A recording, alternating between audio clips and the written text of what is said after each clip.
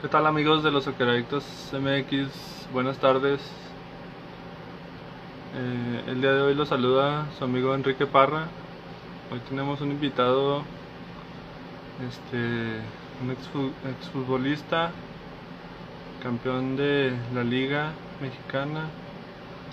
Se llama Jesús Mendoza, Chuy Mendoza, futbolista mexicano surgido de la cantera de León que pasó por equipos como Chivas, América, este y algunos otros más hasta que se retiró en el, en el Irapuato.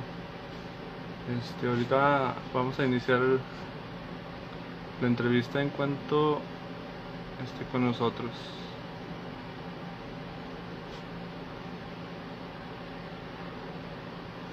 No olviden participar en, nuestras dinámicas del segundo aniversario de, de Socceradictos MX. Va a estar regalando una playera de su equipo favorito. Participen para que se puedan llevar la playera de su equipo preferido.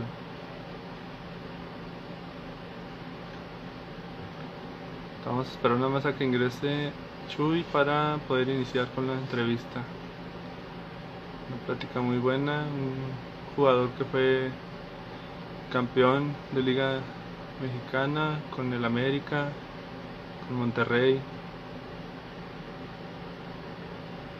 que participó en aquel América del 2005. Pues ahorita nada más a esperar a que ingrese y nos acompañe.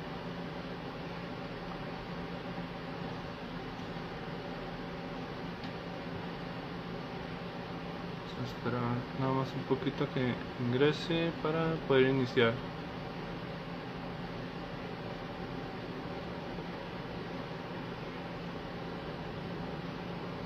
vamos a ver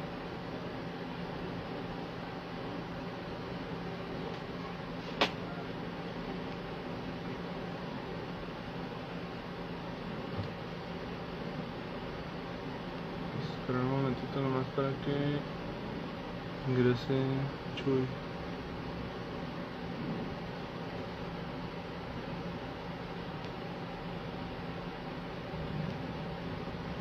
Vamos a mandarle la invitación. No, no.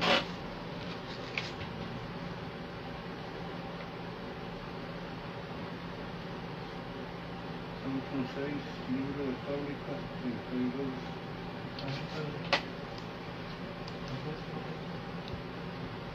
En un momento más ya va a ingresar aquí con nosotros.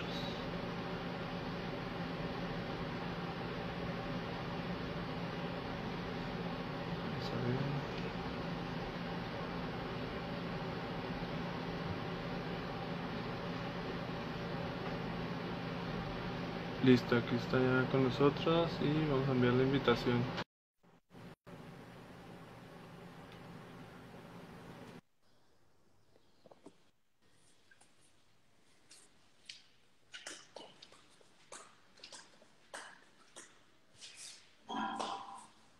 ¿Qué tal, Chuy Mendoza? Buenas tardes.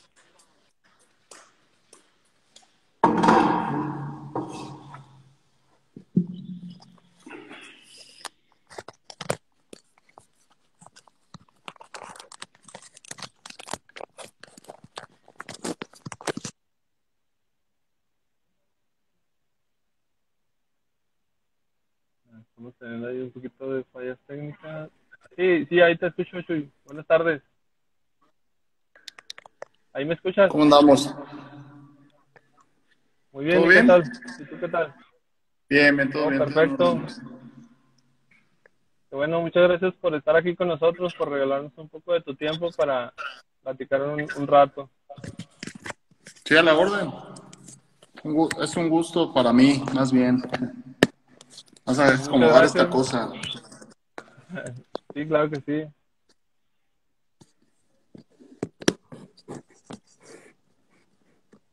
Si ahí, ahí me veo, ¿se va? Ahí, ahí se ve muy bien.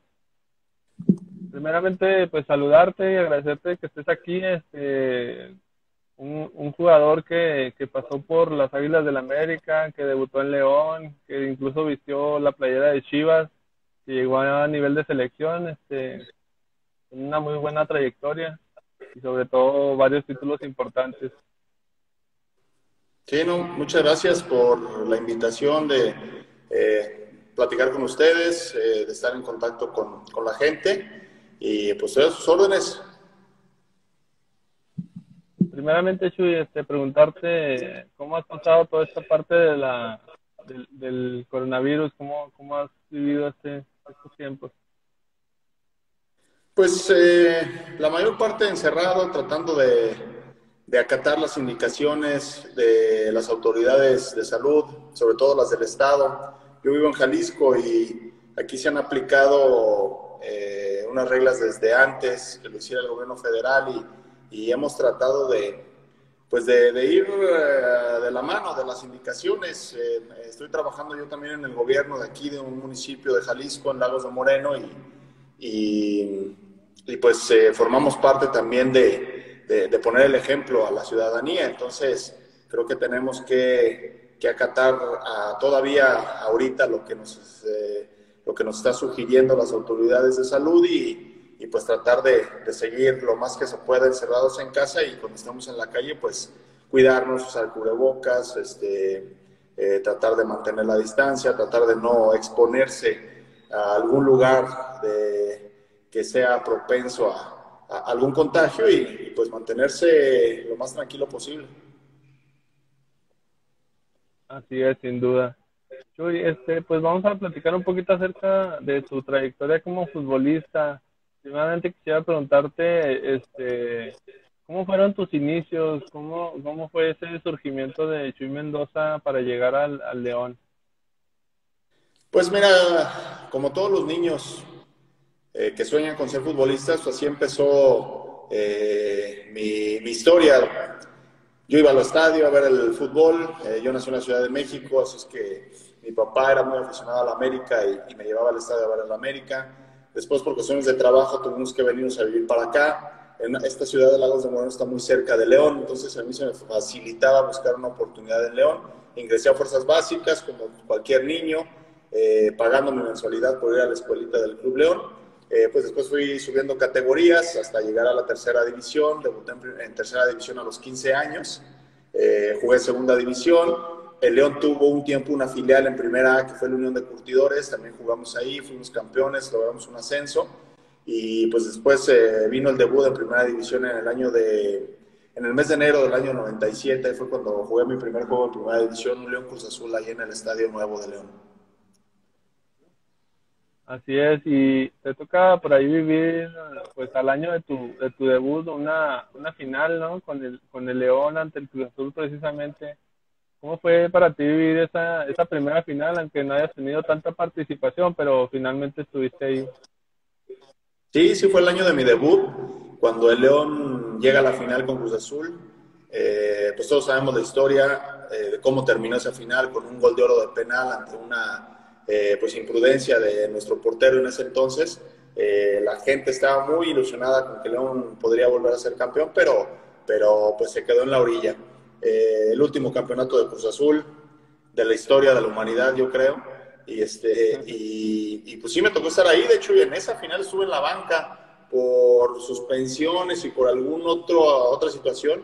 Me tocó estar en la banca en el partido final, final, ahí en León, y, y pues lo viví muy de cerca. eran mis primeros contactos con el eh, alto eh, nivel del fútbol y creo que eso me sirvió mucho para ir conociendo, ver cómo se manejan las emociones, ver a mis compañeros cómo se preparan para una, un partido tan importante, también ver lo que no se tiene que hacer. Eh, creo que me sirvió muchísimo esa experiencia de ese año, que como bien lo dices, no tuve mucha participación, pero sí viví cosas que, pues, que nunca me imaginé y que me sirvieron como experiencia para lo que vino después. Así es. También este, tuviste un paso ahí por, por las Chivas. Eh, ¿Qué fue para ti, como digamos, desde la perspectiva del mexicano, qué fue para ti vestir la playera de Chivas? Ah, en su momento algo muy importante.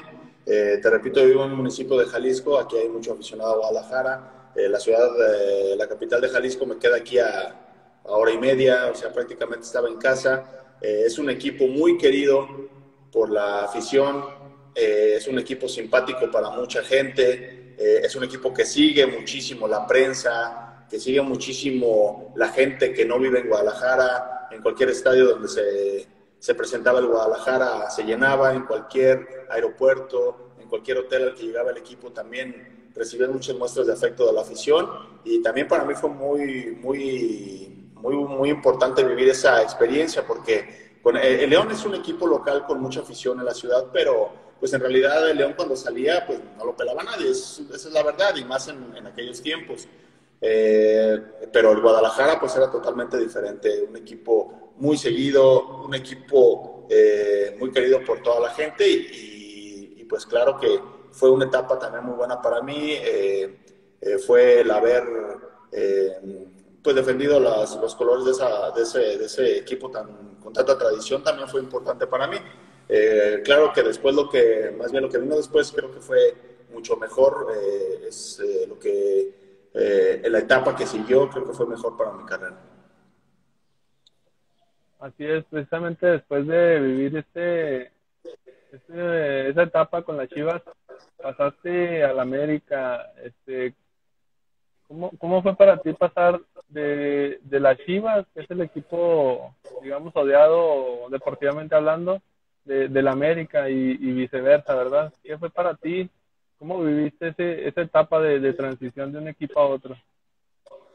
Eh, pues mira, fue difícil. Eh, eran muchas emociones encontradas. De alguna u otra manera, pues estaba empezando a agarrarle cariño al Guadalajara. Eh, y, de repente viene un cambio drástico, ¿no? Un cambio de 180 grados totalmente opuesto.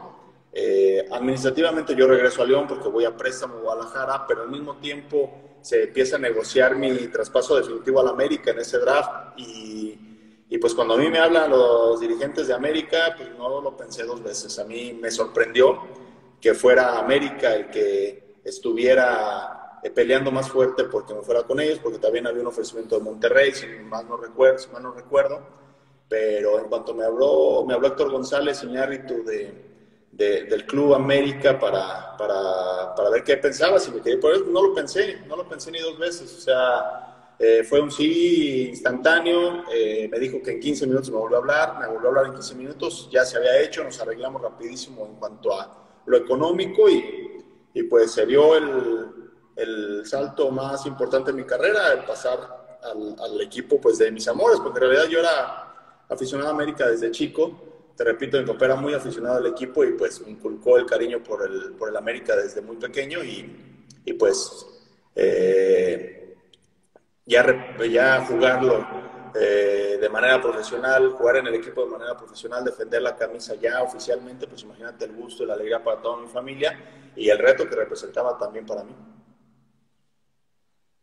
Así es, este, y precisamente pues vino, yo creo, y creemos muchos, que vino tu mejor etapa en el fútbol con el América, donde conseguiste varios campeonatos y, y además marcaste varios goles, bastantes diría yo. Este, ¿Qué fue para ti, ya estando en el América, este, compartir vestidor, por ejemplo, en su momento con Iván Zamorano, con Cuauhtémoc? ¿Qué fue para ti con Adolfo Ríos y entre, entre otros grandes jugadores que había en ese tiempo? Sí, una gran experiencia y un gran aprendizaje que me dejaron todos ellos. Desde el momento que llegué ya estaba Braulio Luna, mundialista, ya estaba eh, Fabián Estay, José Luis Calderón, eh, o sea, eh, Joel Sánchez, estaba en América cuando yo llegué, ya estaba Pablo, ya estaba Duilio, o sea, jugadores muy, muy importantes, mundialistas, seleccionados nacionales, que, que a, a, los cuales se les puede aprender mucho. Después llega Iván Zamorano, una estrella internacional, jugó en campeón con Real Madrid, eh, Inter, una trayectoria muy, muy extensa y sobre todo que llegó a México todavía a demostrar ese valor y esa calidad que siempre tuvo. No vino de vacaciones como algunos otros por ahí que llegaron a la América después. Eh, él vino a demostrar su calidad desde el primer partido, desde el primer entrenamiento y para mí fue muy valioso compartir vestidor con, con él. Eh, más adelante llegó Claudio López, regresó con Temo a la América, que fue una de las mejores eh, etapas eh, del equipo el, reencontrar a Cuauhtémoc y su mejor nivel de fútbol, volvió a ser campeón, el equipo en el 2005 ya con Cuauhtémoc. Entonces, el haber convivido con todos estos jugadores eh, seleccionados chilenos, Ricardo Rojas también estaba ahí, eh, seleccionados colombianos, Frankie Oviedo, un equipo muy completo, buenos extranjeros. A lo mejor Marcelo Lipatino fue un extranjero seleccionado, pero era un gran jugador y nos ayudó muchísimo en el campeonato del 2002. Eh, entonces yo creo que de todos los jugadores, de todos los compañeros que tuve, eh, tenían algo muy bueno, algo positivo y, la convivencia con ellos siempre fue muy buena. Adolfo Ríos, Memo Ochoa después ya empezó a aparecer, eh, estaba todavía Hugo Pineda, Ricardo Martínez hablando de arqueros, Cristian Martínez también me tocó en alguna etapa ahí en América, los jóvenes que iban surgiendo como Salinas, como el Albi, como los Mores, este, o sea, era muchísimo muchísimo, muchísima calidad, tanto de los extranjeros, porque eran menos, eran cinco extranjeros nada más, entonces se hacía un, un, filtro mucho más eh, eh, fuerte de lo que es ahora, pocos extranjeros, más calidad, y jóvenes que iban surgiendo y que después fueron importantes para el equipo. Así es, y viene ese primer campeonato de liga en el 2002 precisamente, eh, en la final ya contra Necaxa. Este, ¿Cómo viviste ese momento, tu primer campeonato este, de primera división con el América? ¿Cómo fue para ti eso? Eh, pues mucha, este, muy desgastante, fue un torneo difícil porque eh, jugamos Copa Libertadores también de manera simultánea, eh, fueron muchos viajes, era muy desgastante los traslados, no tanto los partidos ni los entrenamientos, porque era muy inteligente Manuel Puente a la hora de, dosificar las cargas ah, y los descansos para los jugadores. Teníamos un plantel amplio, tuvimos que eh, ingresar, eh, agregar eh, algunos jugadores muy jóvenes, algunos otros de la filial de Primera A, que en ese momento era San Luis. Entonces, buscamos la manera para cumplir con los dos compromisos y lo hicimos muy bien. En, en, Libertadores quedamos en semifinales y eso porque se nos cortó el ritmo por el parón por la Copa del Mundo del 2002 y en, y en, este, en el torneo local eh, eh, tuvimos un torneo irregular, pero al final lo apretamos y nos sirvió para calificar eh, número 8. Y pues de, un, de número 8 fuimos campeones, le fuimos a ganar en casa a todos los equipos y creo que tiene mucho mérito ese campeonato del 2002, lo recuerdo con mucho cariño, porque el América tenía mucho tiempo de no ser campeón, porque fue un torneo complicado, te repito, jugamos dos torneos al mismo tiempo y no era nada fácil, y aparte haberle ganado al superlíder, primero en cuartos de final, después sacar a los Pumas en CU, que fue algo impresionante, y después ganarle un Necaxa, que sabemos la rivalidad que había en ese entonces por el tema de la propiedad, y las ganas y, el coraje que siempre nos tuvo el Necaxa al América, entonces el haber ganado eh, esa final también fue algo de mucho valor y se disfrutó mucho. Así es, como bien mencionas, este, también jugaron Libertadores en ese mismo, en ese mismo torneo. Eh, ¿Crees tú que, que la Libertadores este, haya realzado el nivel de la liga? ¿Crees que en ese tiempo había un mejor nivel en la liga gracias a participar en, en torneos de Conmebol? Pues era un factor, porque bueno, no todos los equipos participaban. Eh, eh, la verdad es que América aparecía muchas veces, eh, Tigres aparecía, Guadalajara aparecía y todos los demás no aparecían. Entonces, tampoco es de que la Copa Libertadores vino a cambiar el fútbol mexicano. Yo no lo creo así. Aparte, cada vez que íbamos a Sudamérica era un problema con el comité organizador, era un problema sobre todo con los arbitrajes, era un problema con los traslados. Entonces, eh, tenía cosas positivas, pero también tenía cosas negativas. entonces, no creo tampoco que la Copa Libertadores haya marcado un parteaguas en el fútbol mexicano. Sí, eh, competir a, un nivel más alto. Y te hablo cuando te enfrentabas a, tres o cuatro o cinco equipos, no todos los demás, ¿eh? todos los demás equipos están al nivel o mucho más bajo que el fútbol mexicano. Pero ya cuando te enfrentabas a un Boca, a un River, cuando te enfrentabas a un Sao Paulo, eh, cuando te enfrentabas a, a, algún equipo peruano que estuviera en un buen momento, algún equipo colombiano que estuviera en un buen momento, bueno, ahí sí, ahí sí te servía, ahí sí podías medir fuerzas de, de, una manera positiva, pero pues la verdad es que, mm, o sea, venían equipos, eh, vinieron equipos sudamericanos aquí a México y se llevaban 6 y 7 goles, entonces tampoco no, no, creo yo que haya sido eh, tan determinante en cuanto al nivel. sí era un plus, sí creo que era algo que servía para el fútbol mexicano, eh, creo que nos eh, daba un poco de, pues, exposición hacia Europa, porque en realidad pues, en Europa están muy pendientes de los jugadores sudamericanos para llevárselos a jugar para allá, y la Copa Libertadores es un es un escaparate importante. Entonces, que los mexicanos se hayan metido en esa dinámica, creo que sirvió mucho en ese aspecto. Eh, no sé si vaya a regresar, no sé si, si, si en algún momento eh, piensen en traerla de regreso. Aparentemente, los directivos más bien toman decisiones eh, para atrás, más, más que para adelante. Entonces, no sé si, si vaya, vaya a regresar el, la Copa Libertadores, pero es una buena experiencia, sin duda es una gran experiencia irse a meter a los estados sudamericanos, es una gran experiencia y, y, tuve la suerte de haberla vivido en dos ocasiones.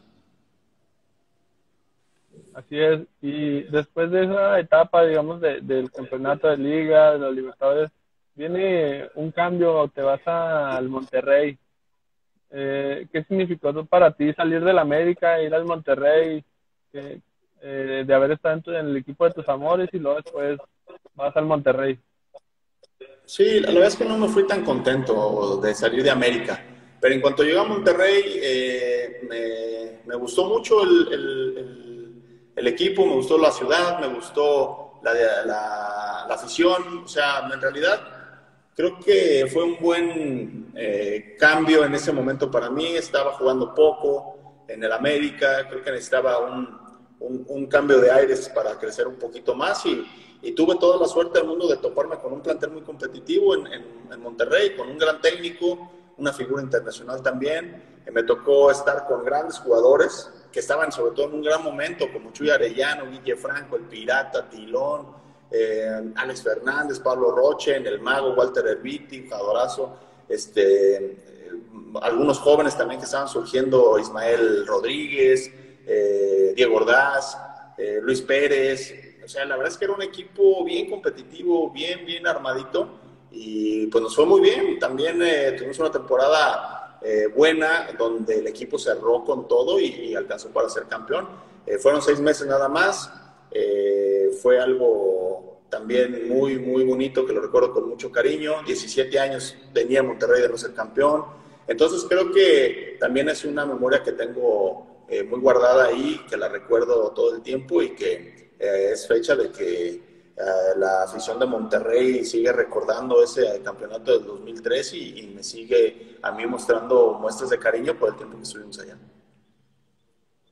Así es, y pues después regresas a la América a vivir otra etapa, este, nuevamente con, con donde se formó un gran, un gran plantel, nuevamente, como decías, con jugadores como el eh, Blanco en su mejor momento, creo yo, en uno de sus mejores momentos, el Piojo López, Clever, ese, ese torneo del 2005 que, que incluso rompieron un récord de, de, menos, de derrotas, de no tener derrotas durante más de 30 partidos con, con el profe Carrillo. Eh, esa, esa segunda etapa, ¿cómo la viviste después de haber ido al Monterrey y haber regresado? No, con todo, con todo. La verdad es que muy bien, muy bien el, equipo. Cuando yo llegué estaba en Hacker.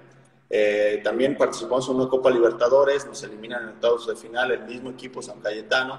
En la liga calificamos en tercer o cuarto lugar, si no me equivoco, pero Toluca nos echa fuera ahí de una manera, pues muy, o sea, con un sabor muy amargo. Salimos con un sabor muy amargo porque eh, sentimos de que sentimos que podíamos haber hecho algo más.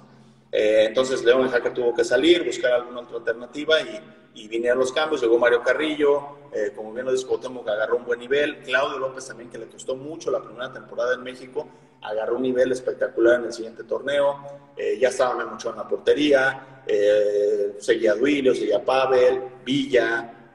o sea, ya teníamos un equipo también muy competitivo y también era complicado jugar. Entonces nosotros tenemos que también aceptar el papel de ser un buen relevo el estar siempre listo para cuando Mario no lo, nos, ocupaba. Y esa era una de las cuestiones que, hizo exitoso ese equipo, que todos estaban bien conectados, el técnico nos tenía todos bien, bien enchufados.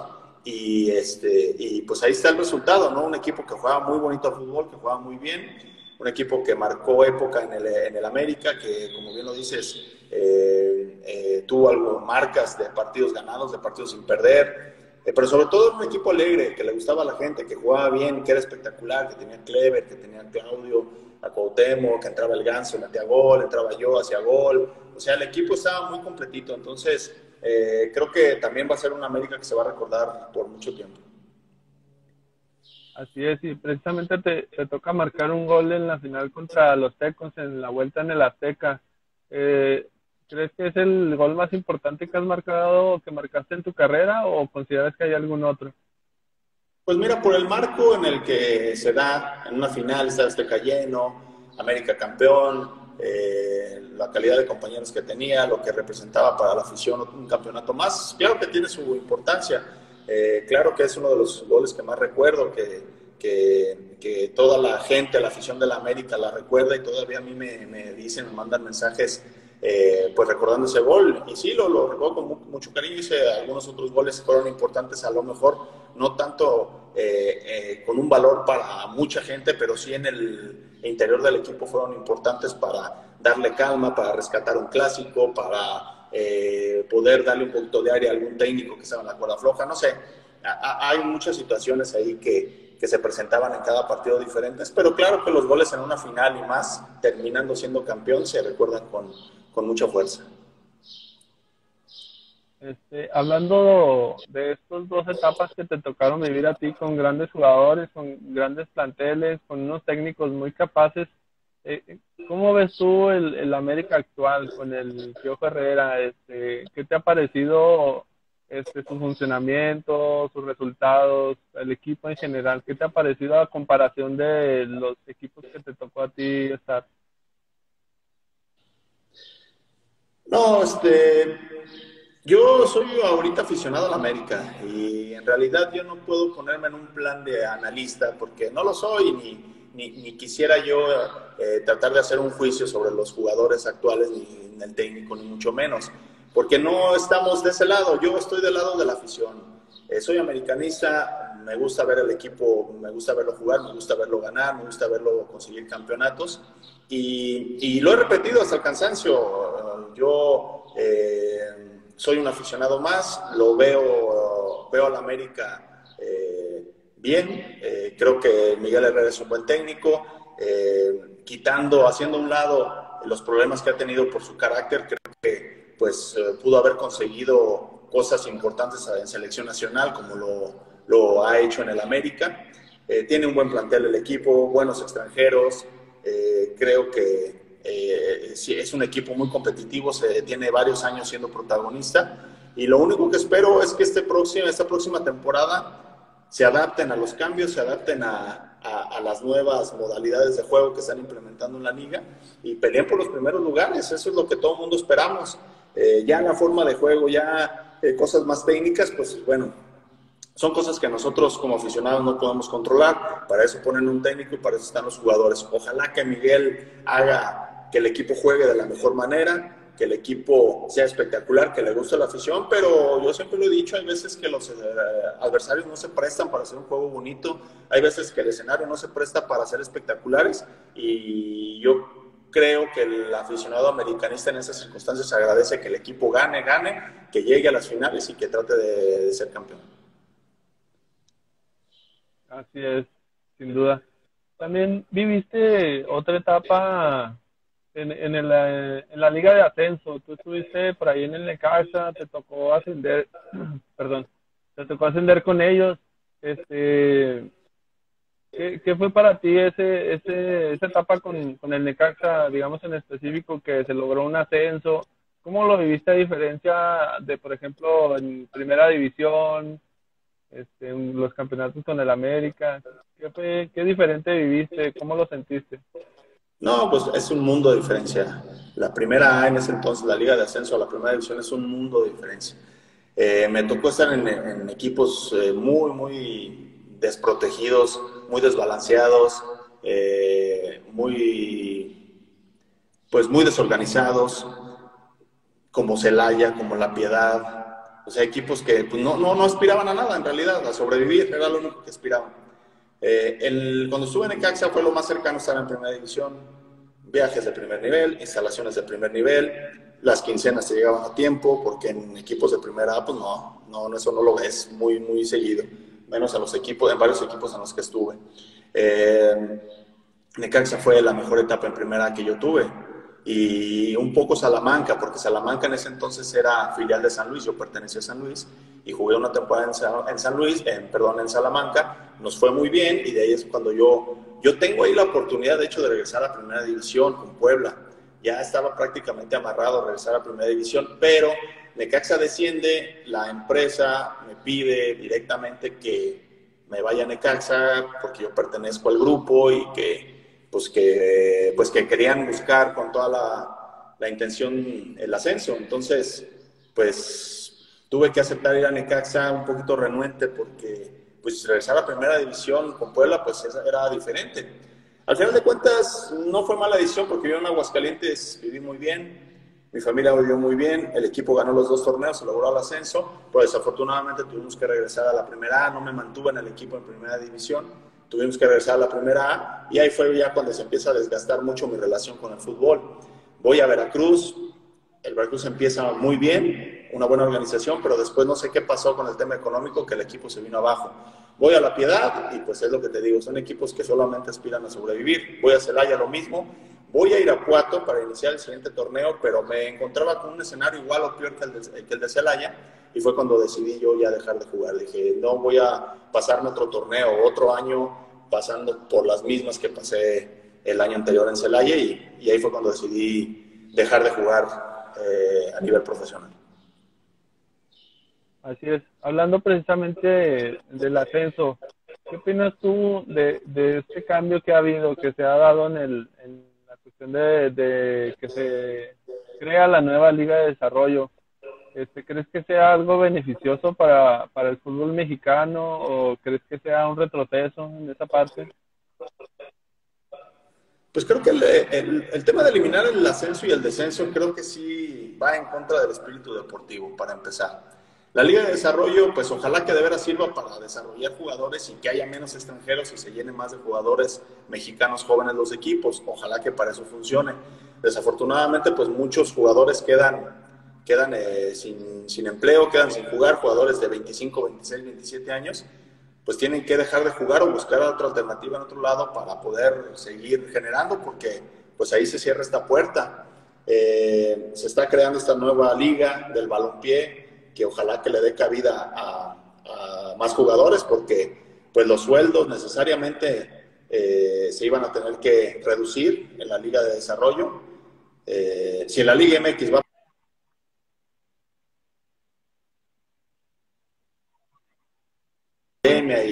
y, la crisis económica que se vino por esta situación, por esta contingencia, pues imagínate en ligas más eh, débiles, digamos, o en, crecimiento, en desarrollo, pues iba a ser bien complicado mantener un, buen sueldo y, pues en eso se le, se le, se le vino la, la, urgencia a los jugadores que, que militaban en los equipos de liga de ascenso. Vamos a ver, el tiempo dará la razón si fue buena decisión o no. Creo que no, no, no es, no, no es bueno el haber quitado el ascenso y el descenso y haber cortado de tajo tantas cosas. Eh, en el tema de la competencia, del sistema de competencia eh, y de involucrar a dos equipos en la fase final, es decir, que haya repechaje de nueva cuenta, creo que ahí le agrega un poquito de emociones. estamos hablando de una semana más de liguilla, estamos hablando de que la gente ahorita con este parón de fútbol, pues quiere ver fútbol otra vez de buen nivel, quiere ver eh, emociones. Y pues un repechaje es liguilla. Y, y, son juegos a muerte, son juegos a matar y morir. Y eso es lo que quiere ver la gente, quiere ver espectáculo. O sea, la Liga de Alemania ya regresó. Todo el mundo vuelto loco porque la Liga Alemana ya regresó. Dos semanas después, el Bayern se corona y ya se pierde todo el interés. O sea, es por eso que yo ni me emociono tanto con las ligas europeas. Yo prefiero ver el fútbol, el fútbol mexicano, que a lo mejor sí ves un, nivel un poquito más bajo que algunos partidos europeos, pero de que hay emoción y de que te prendes y de que ves el fútbol con tus amigos y, y, de que te emociona ir al estadio, pues eso nunca se va a acabar. Así es, sin duda. Eh, Chuy, también por ahí tuviste alguna etapa en selección mexicana, tal vez no, no tan extensa, pero por ahí conseguiste un cuarto lugar en un mundial juvenil. este, también ganaste un, un oro panamericano precisamente acá en Canadá, este, y, jugaste algunos partidos. Eh, a pesar de no, haber sido tan extensa tu carrera en selección, eh, ¿qué representó para ti haber portado la playera verde? Fíjate que siempre fue un orgullo, sobre todo porque lo empecé a vivir desde muy joven.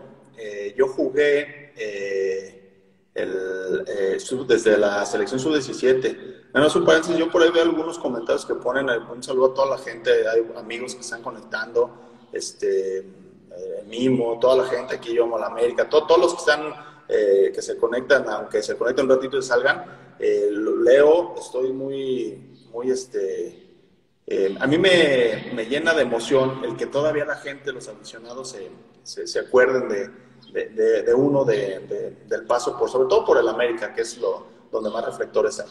El tema de la selección a mí me ayudó muchísimo, sobre todo cuando estaba creciendo, cuando me estaba desarrollando en el fútbol, cuando estaba en tercera división, segunda división, porque yo eh, estuve en la selección sub-17 que jugó un premundial en El Salvador en el 94 Desgraciadamente nos fue mal en ese premundial y no calificamos al mundial, pero en ese equipo estaba gente como Rafa Márquez, Juan Pablo Rodríguez, Jaime Lozano, Beto Becerra, que después fue mi compañero en América.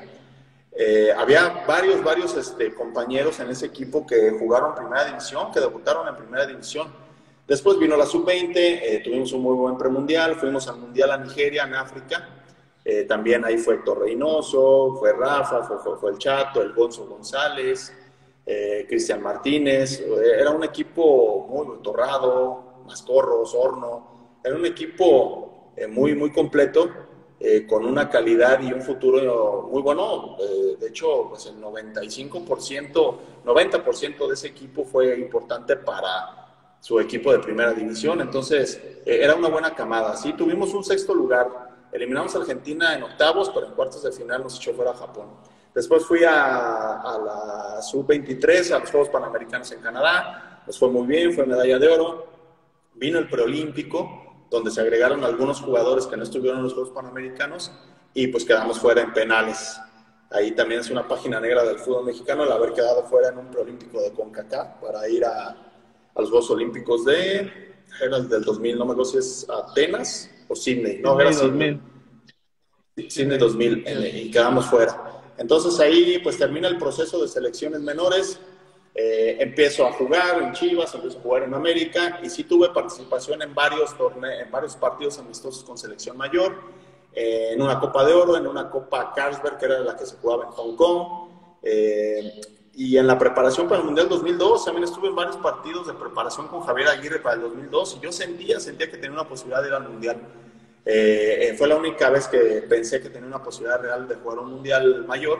Desafortunadamente vino la lista final y, pues ya no, no, estuvimos ahí. Pero fue una gran experiencia el haber estado en selección nacional, eh, desde las inferiores hasta la mayor. Y pues fue una cosa también que me ayudó en mi desarrollo futbolístico. ¿Qué crees que te haya faltado o qué sientes que te haya faltado en tu etapa como futbolista de haber de cumplir? ¿Qué te faltó? ¿Algún objetivo que tenías? Mm, pues mira, yo creo que permanecer más tiempo en primera división. El ir a primera pues, es prácticamente desaparecer. Y me hubiera gustado jugar más tiempo en el América, al menos un año más. Y me hubiera gustado jugar más tiempo en primera división. Y al final de mi carrera me hubiera gustado haber eh, jugado un año más. Yo me, me retiro prácticamente a los 34 años y, yo sentía que tenía al menos un año más de juego. Eh, pero bueno, las condiciones no se dieron y tuve que retirarme. Pero no, son pocas las cosas que me arrepiento en mi carrera. Lo disfruté muchísimo, me divertí muchísimo, eh, siempre fui profesional, eh, siempre traté de respetar a mis compañeros y, a mi, y, al fútbol, a la profesión, a los dirigentes, a mis jefes, a los entrenadores. Entonces creo que, en el balance eh, creo que, que, estoy en el lado bueno. Obviamente se, puedan, se pudieran haber hecho cosas mejores. A lo mejor me faltó entrenar un poco más, a lo mejor me faltó cuidar más la alimentación, a lo mejor eh, faltó un día no desvelarme, no sé, miles de cosas. Pero bueno, eh, es parte de la vida. Uno es joven, trata de, de, respetar lo, lo, lo, que está haciendo. y dentro de todo eso creo que no lo hice tan mal. Así es. Por ahí mencionan que ¿En cuántos equipos jugaste ahí con Álvaro Ortiz, que eran prácticamente como hermanitos? Ahí comentan. Sí, no, Álvaro es mi, es mi compadre, aparte, es muy buen amigo mío. Eh, estuvimos, la historia empezó desde que conformamos una selección del Bajío. Como él estaba en La Piedad y yo aquí en León, se armó la selección del Bajío, de la zona, para ir a jugar un torneo llamado Benito Juárez, que era eh, un torneo donde salían la mayoría de los jugadores que conformaban la selección mexicana sub-20. Ahí lo conocí y jugamos juntos. Después él se vino a León, a la segunda división, ya fue mi compañero. Vivimos juntos en Casa Club. Después este, el club nos rentó un departamento donde vivíamos junto con otros dos compañeros. Entonces vivimos juntos un buen rato en León. Después nos vamos juntos a Guadalajara. Después nos, él se va un tiempo en Necaxa, yo ya me voy a América, pero después nos volvemos a juntar en América eh, nos vamos juntos a San Luis, jugamos Juegos Panamericanos juntos. Eh, o sea, fue una historia donde, donde coincidimos en muchos equipos y, y pues tengo una gran amistad con él. Eh, te digo, es mi compadre y es fecha que seguimos frecuentándonos. De hecho, estuve yo colaborando con la Asociación de Futbolistas Profesionales, del cual él es presidente. Estuve trabajando un tiempo ahí con ellos. ahorita, como me involucré un poco en el tema político aquí en el municipio, tuve que dejarlo pero, pero seguimos en contacto, hablamos muy seguido, mensajeamos muy seguido y, y es una gran amistad la que tengo con él. Así es. Eh, en tu etapa como futbolista en toda tu carrera, este, ¿cuál fue el mejor director técnico que te tocó? ¿Quién crees que marcó más este, el, eh, tu carrera? Pues mira, a todos se les, creo que a todos, de todos tengo algo bueno. Hay pocos que no. Claro que hay técnicos que yo no tengo nada. Por ejemplo, yo, tuve técnico al Fantasma Figueroa en Morelia, de ese sí no tengo nada bueno que decir, absolutamente nada bueno.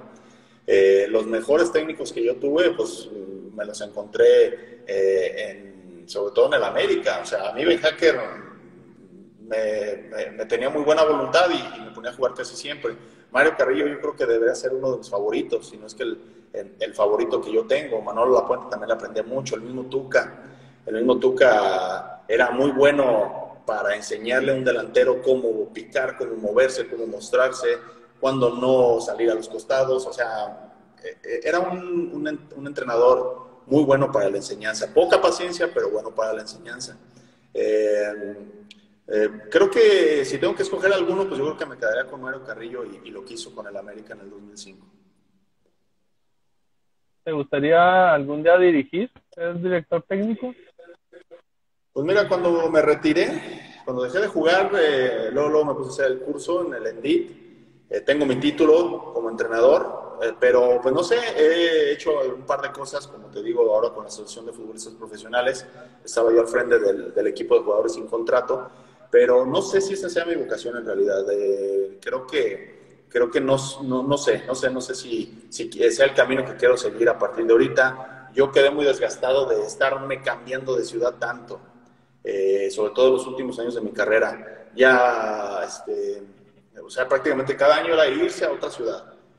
Eh, se acaba el torneo y buscar otra ciudad. Y era casa, era mudanza. Mis hijos ya estaban creciendo, era cambiarlos de escuela. Yo ya no quería eso. Entonces, el, ser ahora director técnico, y mira que he tenido un par de ofrecimientos para, para ir a fuerzas básicas, no creo que, que, quiera yo regresar a esa misma dinámica de estarme moviendo de un lado o irme solo y dejar a mi familia. O sea, no, no, en realidad no. Yo creo que de algún trabajo así sería yo creo que nada más aquí en León, que tengo aquí a 20 minutos, pero más lejos yo creo que no.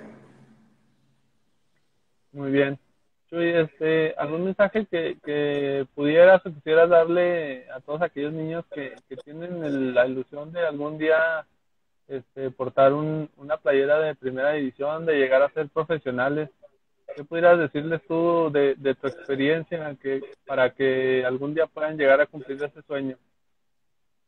Pues es un, un, que es una carrera de resistencia, de mucha disciplina. Yo no hablo de sacrificio ni de trabajos pesados. No, no, no, es, es una alegría el fútbol y así lo se debe ver, y más cuando es niño, ah, cuando es uno pequeño. O sea, eh, el fútbol nunca debe ser un motivo de estrés, eh, nunca debe ser un motivo de angustia, eh, porque si no los alejas del deporte. Entonces, sobre todo a los niños, que lo disfruten, que jueguen, que, que hagan su mejor esfuerzo. que se diviertan a la hora de estar en la cancha. Ese es el único consejo. Ya si vamos creciendo, tenemos la expectativa y sobre todo el talento de, buscar eh, el profesionalismo, pues que se pongan a trabajar, es disciplina, es a lo mejor eh, dejar de ir con los amigos al café o, a dar la vuelta a algún lado, eh, es dejar de hacer eso para ponerte a entrenar o para ponerte a descansar porque tienes que entrenar al día siguiente, es mejorar día a día, el entrenar un poco más eh, que los demás, el hacer cosas diferentes, el prepararse académicamente, muy importante. Tenemos que cambiar ese estigma del, futbolista que, que, pues que solamente sabe patear una pelota. Hay que prepararse académicamente, hay que abrir la mente, hay que leer eh, y sobre todo, pues ser muy constante, trabajar mucho, eh, escuchar a sus entrenadores, escuchar a los compañeros, ser un buen compañero, ser solidario, hago bien mi trabajo y después ayudo eh, con el trabajo del compañero. O sea, son un montón de, de cosas que, que, pueden englobar el, el, pensar en ser un buen jugador de fútbol y los niños están en formación, ser un buen ser humano, estar bien con la familia, con los papás. O sea, son muchas cosas que, que entran en la formación de un jugador joven y que esas bases se ven y se notan cuando un jugador ya está en un equipo de primera división o compitiendo ya al más alto nivel. Así es. Uy, pues muchas gracias, de verdad te agradecemos mucho de parte de todos los operaditos que nos hayas regalado un poco de tu tiempo para compartirnos todas tus experiencias o algunas de ellas. Este, te agradezco mucho, este, espero que, que en algún momento podamos volver a conversar y que, que vaya bien todo con lo que estés trabajando en este momento. Te lo agradezco, te agradezco muchísimo el espacio, el poder platicar con ustedes, la gente que se, que se conectó, les mando un saludo a toda, toda la banda, a mis amigos que estaban por ahí, que entraban y salían. Eh, te agradezco muchísimo el, tiempo y como no, estamos a tus órdenes, cualquier otro momento, cualquier otro espacio, pues estamos aquí para platicar. Muchísimas gracias y les mando un, abrazo. Saludos, Peter. Saludos. Hasta luego.